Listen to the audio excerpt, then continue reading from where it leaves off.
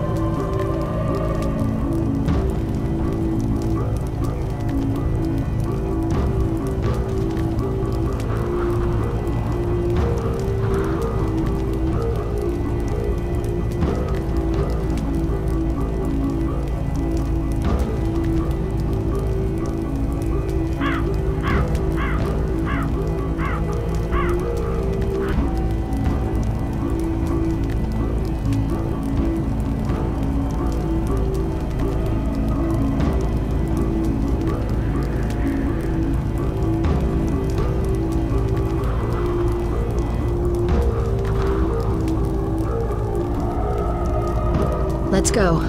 You guys ready?